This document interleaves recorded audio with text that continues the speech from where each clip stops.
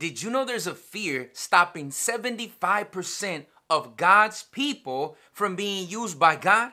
It's preventing them from walking in their calling and it's stopping them from experiencing the peace and the love and the joy and the fulfillment that God has for them. What is this called? It almost stopped me. But I give glory to God that God used my father to get me out of that phobia and to push me into the calling that God has given me in this life. What is this fear called? It's called glossophobia. And what is it? It's the fear of public speaking. Did you know that this fear is battling your calling? Because many Christians ask, What is my calling? What is my purpose? God has one purpose and one calling for every Christian. For any person that has been born again, for any person that has put their saving faith into Jesus Christ, the Son of God, who gave his life for us on the cross and resurrected on the third day and is to come, who is going to return one day, for every person that has trusted in Jesus as their Savior, we all have this one similar calling. It is the supreme calling on this earth. And do you know what it is? To lift up the name of Jesus and to testify and to witness about what Jesus Christ did for us on the cross. That he came to reconcile fallen man, sinful man, back to a holy God. There was not a man, not a woman on God's green earth that could reconcile any person back to the Lord because we all have sinned, like the Bible says, all fall short of the glory of God. There is not one, no, not one that searches after the Lord, but Jesus, the Son of God. He came down to this earth through a virgin. Why through a virgin? Because if he would have been born through a man, he would have had the sinful nature also. Jesus did not have the sinful nature. Why? He had the nature of God because he is God in the flesh. He came through Mary to this earth. He did not have the sinful nature. He lived the perfect life. He never sinned. And because he didn't have the sinful nature, because he never sinned, he was able to be our sacrifice. He was able to be our replacement on that cross. And when he was on that cross, God, the Bible says that God put all the sins of humanity on him, past, present, and future. All the sins of every human being that has ever been born, that was born at that time, or that ever will be born, all the sins of humanity, God counted them on Jesus. And for that moment on the cross, God looked at Jesus and treated Jesus as the worst sinner ever to walk on this earth. And why is that important? Because the perfect, holy Son of God, when he was there on that cross, God treated him and counted him as the worst sinner that had ever walked on this earth. And the Bible says that he took the punishment of sin because the punishment of sin is death. He took the punishment of sin. Now, the beautiful thing is, this is the word gospel. The word gospel means good news. This is why the gospel is good news because God treated him and judged him as the worst sinner ever. Now, because of that payment, the price has been paid. The price of sin, the bill of sin has been paid by Jesus, the Son of God.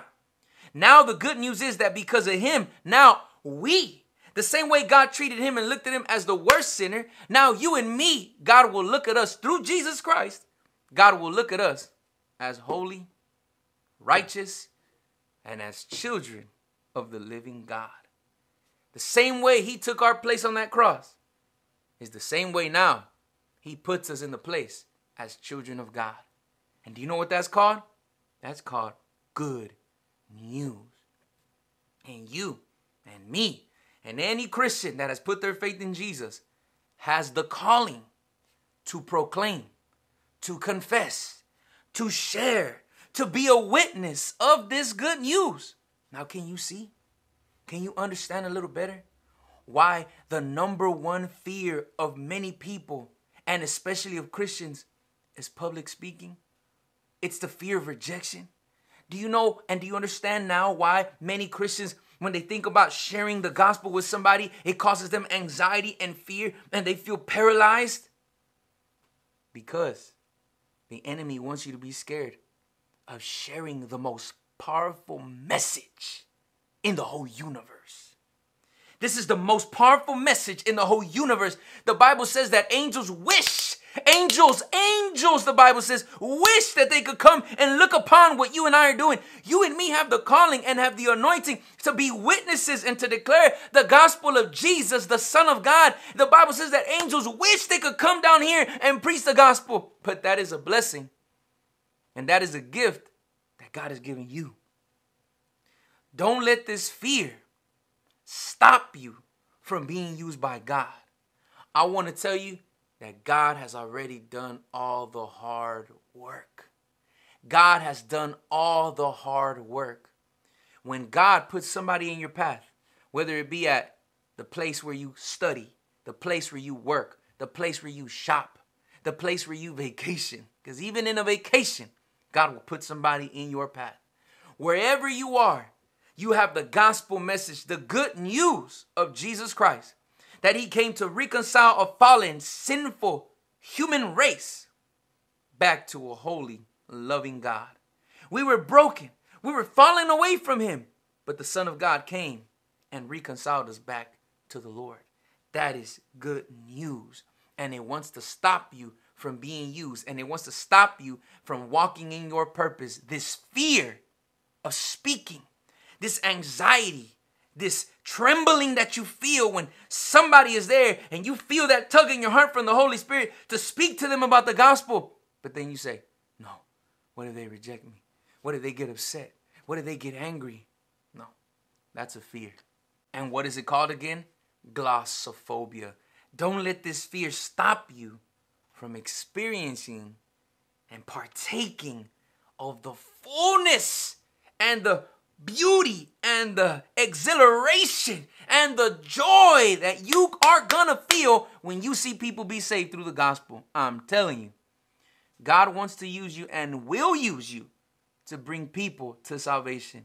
And that is an amazing, amazing joy that God wants to share with you.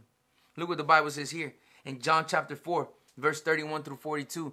God has already done all the hard work I want to let you know that when God puts somebody in your path, He's already been dealing with that person.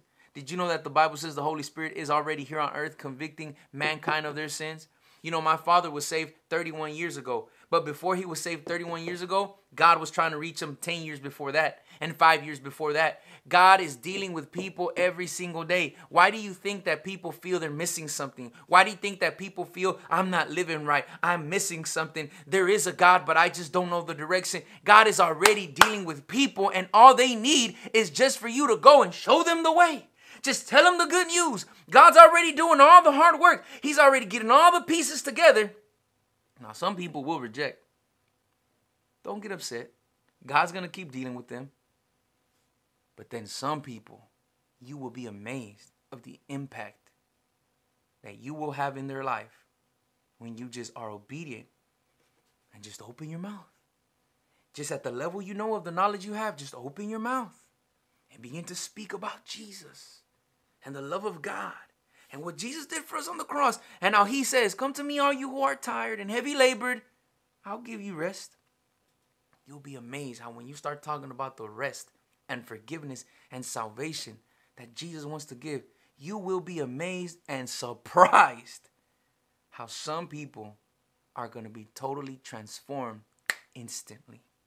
But remember, glossophobia, it wants to stop you. Don't let it stop you. But let's see how God has already done all the hard work in the life of a woman who was an extreme adulterer, extreme promiscuousness was going on in her life, but God had already been dealing with her. And when she got saved, look at the impact that she had on her city. And she was only saved for like a minute. She was only saved for like about a minute. But do you know what this calling has? The calling of being a witness, the calling of speaking the gospel, and we all have this calling. It doesn't matter if you've only been saved a day or a minute, you have this calling to speak the gospel, the good news of Jesus Christ. When she obeyed and when she just declared what Jesus had done in her life, it doesn't have to be fancy. What Jesus done in her life, when she declared that, her whole town was impacted. This goes to show you it doesn't matter how many years of seminary you've been to. It doesn't matter how much Bible you know. It doesn't matter how many hours you pray. Now, don't get me wrong, praying and studying the Bible is good. But if you pray for 10 hours and read the Bible for 10 hours, but you never share it, what kind of impact is that going to have on anybody else? But this woman took what she knew from Jesus, what Jesus had done in her life, and she didn't try to convince anybody. She was just speaking it. Hey, this is what Jesus has done in my life. And do you think you're the only person that goes through what you go through? Do you think you're the only person that has the battles that you have? No. There's billions of people on planet Earth, and there's many people who are going through many things just like you. So when you tell them this is what Jesus has done in my life, this is how Jesus has changed my life, this is what the Bible says Jesus has done for us, man, that message is going to be extremely impactful. Let's read. Look what the Bible says. Meanwhile, the disciples were urging him, saying, Rabbi, eat. But he said to them, I have food to eat that you don't know about. So his disciples said to one another, Has anyone brought him something to eat? Jesus said to them, My food is to do the will of him who sent me, to accomplish his work. I want to ask you a question. What are you craving? Are you craving a pizza right now? Or are you craving to do the will of God? Don't get me wrong. Craving a certain type of food that you like is not bad. But Jesus, at this point of scripture that we're reading, his disciples were telling him, Eat, you got to eat. It's hot. You've been walking all day. He said, I'm already feeling satisfied. I'm already feeling satisfied. Have you ever got good news that maybe you were hungry, upset, sad, but then all of a sudden you just receive good news and all those feelings go away and you're just satisfied? You just have that that peace in your body, that happiness, that joy in your body because of that good news that you heard, that it just makes hunger and, and anger and frustration just disappear. Have you ever received that type of good news? I have. Jesus was physically hungry, but at this point, he was satisfied because this woman that he had ministered to, her whole life was changed. And not only was her whole life changed, but her whole town's life was changed. And Jesus said, I'm not even hungry right now. Like, I'll be hungry right in a minute. I'll be hungry. I know it's going to come back in a minute. I'm going to get back hungry in a minute. But right now, man, I'm so satisfied. I'm just soaking in what God has done. He says, My food is to accomplish His work. Do you not say that there are yet four months, then come the harvest? He says, Look, I tell you, lift up your eyes and see that the fields are white for harvest. I want to let you know that God is already dealing with people the fields are already for harvest. There's people out there that are just waiting for someone to come and speak to them. They don't know the way. They don't know the way, but they just feel something. And that something is the Holy Spirit convicting them. But they don't know about the Holy Spirit. They don't know about Jesus. They don't know about Scripture. And they're just waiting. You are just the missing piece that God wants to use. God wants to use you. He can do it on His own. But God has given you this blessing, this anointing, this calling. God wants to use you just to grab the extension cord that's not plugged in. And God just wants to use you to plug it into the outlet. Just think about them like an outlet lane, unplugged. God wants to use you to grab that person and connect them into Jesus, and then that power will begin to flow. There's so many people that are just waiting, just waiting for somebody to come and speak to them about Jesus and God and salvation in the gospel. And you will be amazed. And Jesus says the harvest is ready. He said, Already the one who reaps is receiving wages and gathering fruit for eternal life, so that the sower and the reaper may rejoice together. For here the saying holds true one sows and another reaps. I sent you to reap that for which you did not labor. Others have labored, and you have entered into their labor. Do you know what Jesus is saying? There's a lot of people who've already done all the hard work. All you got to go do is just pick the harvest. That holds true for me and you today. Other Christians, other Christians, were the ones that now through them, we have the freedom of religion, the freedom of speech, the freedom of assembly. Because of other Christians, now you and me share freedoms to be able to preach the gospel. Because of other Christians hundreds of years ago who came from England and came to America seeking for religious freedom, now you and me, we have these freedoms. Because of people who have translated the Bible from Hebrew and Aramaic, now those people that translated the Bible from different languages and now to English, now because of those people's hard work, now you and me can read scripture. What Jesus said back in the day holds true today. He said, Other people have already done the hard work. All you need to go and do is pick the fruit. That's an amazing blessing. You just need to go pick the fruit. Other people have already ground, hit up the ground. They've already planted the seed. They've watered the seed. They cultivated the seed. Other people have done all the hard work. All you and me need to go do is pick the fruit. That's it. Just pick the fruit. Jesus said, There's other people that have already done the hard work. Look what else he continues to say. Look what happens when that woman that he preached to, went back to her town. She was an adulterer. She was a fornicator. And Jesus preached her. Jesus said, If you trust in me, from within you rivers of living water will flow. That's what she wanted. She wanted peace. Did you know that that's what most of humanity wants? Most humanity just wants peace. Most humanity would trade millions of dollars just to have some peace. This woman, all she wanted was peace. She just wanted to have some type of enjoyment. She was looking for enjoyment everywhere else, but then Jesus introduced her to true, true peace. The peace of God. And she found this peace of God and she went to her town and she spread it. She became an evangelist. She became somebody who was witnessing. You might say, I don't have a YouTube channel. You might say, I don't have a pulpit to preach from. You don't need that to be impactful in the kingdom of God. Did you know how me right now, how I'm preaching through this YouTube channel? Let me show you. My father and mother were reached. You know how they were reached? By somebody who knocked on their door. Who is this man that knocked on their door and told my mother the gospel message when my father was a drug addict, addicted to drugs and alcohol, trying to change, had been to rehabs and programs and, and all these different type of psychologists trying to help him and he could never change. Who was this man that come and knocked at our door and told us that Jesus can change anyone's life? I don't know. I never saw him after he knocked on our door that day. Because of one man that didn't have a pulpit. Because of one man that wasn't waiting for a following on YouTube. Because of one man that remains anonymous. I don't know his name. I don't know who he was. Because of that one man that didn't get fame, didn't get recognition. Now I'm here preaching the gospel. Now you're there hearing the gospel. Do you see how impactful you can be when you just obey and walk in the calling of God? You have no idea. You cannot even imagine what God is going to do through your life when you walk in obedience. This woman wasn't preaching to her town for some type of recognition. She was just sharing the joy, the peace that she had. And look what happens. Many Samaritans from that town believed in him because of the woman's testimony. He told me all that I ever did. So when the Samaritans came to him, they asked him to stay with them, and he stayed there two days. And many more believed because of his word. And they said to the woman, It is no longer because of what you said that we believe, for we have heard for ourselves, and we know that this indeed is the Savior of the world.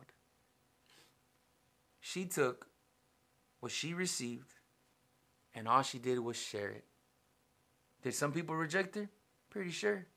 But the Bible says that many people from her town were saved. Many people. In two days, about 50% of her whole town was saved through Jesus Christ. In two days. In two days. I don't want to risk missing out on this opportunity. It might not happen every time I share the gospel, but if it just happens once, if it just happens once, that's a great blessing. And God wants you to share in this blessing. If that's you, if you want to share in this blessing, say, Lord, I'm going to walk in obedience. Give me the ability to walk in obedience. Lord, I want to share in this blessing, in this joy of being used to spread the gospel. Do you want that? Say, Lord, I want that. Strengthen me in Jesus' mighty name. Now that you know, God's already doing the hard work. The people are just waiting. Some people will reject. Don't worry about them. God will continue to deal with them. But there's people out there that you're going to be amazed and shocked how quickly that God will begin to do great and mighty things in their life simply because you were an obedient messenger. I hope this video was a blessing to your life. If it was, do me a favor. If this video encouraged you, if this video blessed you, and you want to continue to hear more videos like this, do me a favor. Press the subscribe button. I post weekly videos that I hope and pray will be a great blessing to your life. And if you want to show your appreciation for this channel or for this video, you can do so by a feature at the bottom of the screen called Super Thanks. Super Thanks are always greatly appreciated. They're a great blessing to my life. Also, if you want to show another way of appreciation, you can do so by channel memberships. Channel memberships, there's a link in my description. You can click it if that's what you're interested in. And when you become a channel member, channel members receive special privileges, special perks like channel badges, channel stickers, and they have a little badge every time they leave a comment. It shows up in the comment section. And I also post videos for channel members only. And with that being said, this Saturday, Lord willing, this Saturday, I'm going to be posting a video for channel members. It's going to be the outline or the way, the technique, how I share the gospel. So if that's something that you're interested in, if you say, I want to learn how to share the gospel, I want to learn how to teach or preach or give a Bible study, if that's something that you want to learn how to do, I'm going to be making a video of how I do it. So if that's something how you're interested in, become a channel member. The link is in the description. And this Saturday, Lord willing, that video will be posted. God bless you. I'll see you soon, Lord willing. And click on one of these videos to continue to be encouraged. Have a blessed day.